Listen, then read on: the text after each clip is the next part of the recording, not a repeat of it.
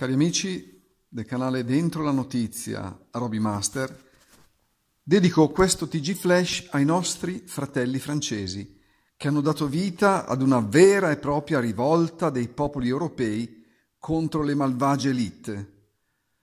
Tutto ha avuto inizio con le decise proteste in Francia contro Macron, visto come un tiranno malvagio e privo di empatia per le sofferenze del suo popolo, che anzi aveva e ha intenzione di vessare sempre di più.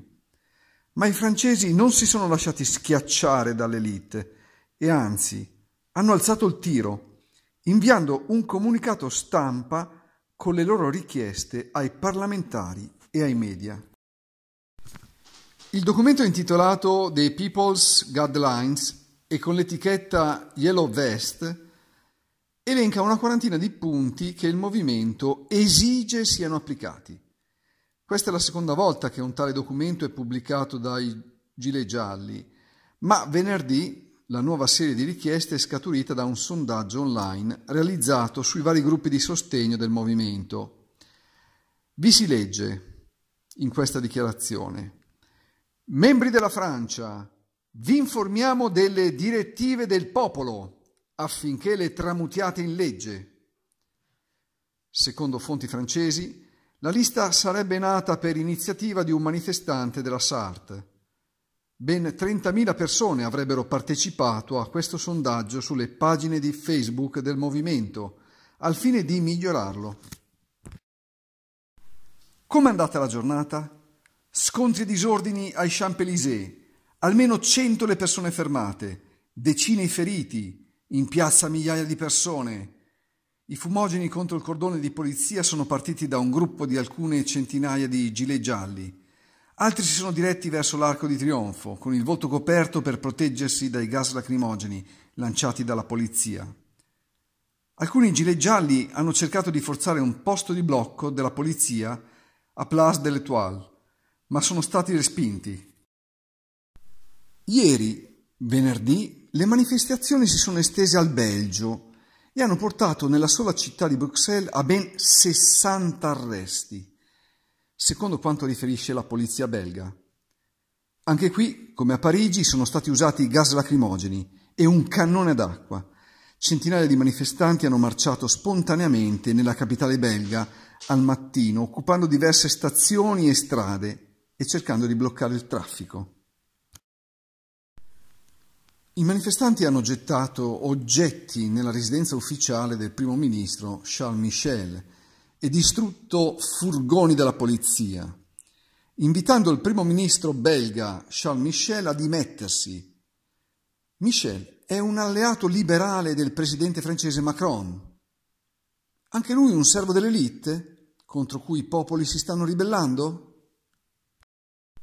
Il sindaco di Bruxelles, Philippe Claus, esterefatto per questo improvviso contagio dei gilet gialli francesi in terra belga, ha minacciato chiunque manifesti ulteriormente può essere arrestato.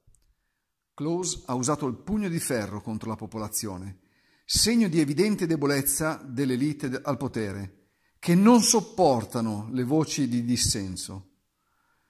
Così il movimento si è diffuso anche nella parte meridionale del Belgio, Lì, tra le altre cose, i depositi di carburante sono stati occupati la settimana scorsa. Ma non è finita qui. I gilet gialli si stanno organizzando anche in Olanda e hanno già dato i primi segnali di rivolta contro l'elite, con le proteste di oggi, sabato, a Laia, Leeuwarden, Nijmegen e Maastricht. Un arresto è stato effettuato nella città di Limburg, tre a Laia.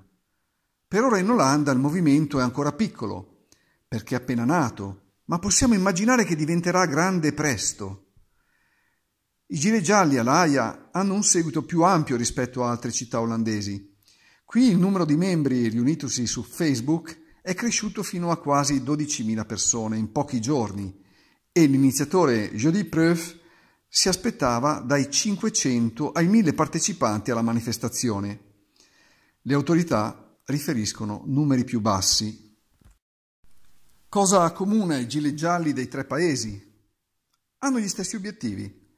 Ottenere misure per aumentare il potere di acquisto e subito, perché troppi cittadini non arrivano alla fine del mese. E secondo, ridurre la distanza tra il governo e i cittadini. I gilet gialli arriveranno anche in Italia? Sarà il Global Compact a dare vita al movimento?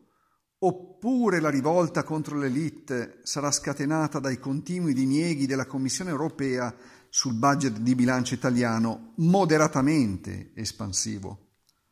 O entrambe le cose? I gilet gialli si estenderanno anche in Grecia, Spagna, Portogallo e altre nazioni vittime delle manovre dell'elite tese a impoverire le persone e a renderle in schiavitù tramite governi fantoccio sempre più distanti dai popoli? E in Germania? È una previsione facile e un avviso ai nostri di continuare ad ascoltare le persone, evitando la pericolosa dissociazione da esse, divenendo radical chic. Cari amici del canale YouTube, dentro la notizia Robbie Master, avevo pensato di chiudere il TG Flash in quanto ho messo in piedi una struttura troppo costosa, che è in grado di pubblicare notizie tutti i giorni senza guardare né feste né malattie. Sempre più persone stanno dando il loro contributo, ma sono ancora poche o le donazioni sono basse. Ma al di là di questo, è per me una grande delusione notare come la classe dirigente, che dovrebbe per prima sostenere una libera ed imparziale informazione, sembra più desiderosa di avere dei media compiacenti, faziosi e che tacciono o deformano le verità. Io non ho mai attaccato nessun partito o uomo politico italiano, giusto per mantenere la dovuta neutralità e imparzialità. Dovuta a chi, se non a voi, che mi sostenete diffondendo i video, iscrivendovi numerosi e con le vostre donazioni. Donare è importante sotto l'aspetto psicologico perché chi dona è dimostrato si sente più coinvolto. E in questo progetto a favore di tutti non posso essere lasciato solo. Un abbraccio dal vostro Robbie Master.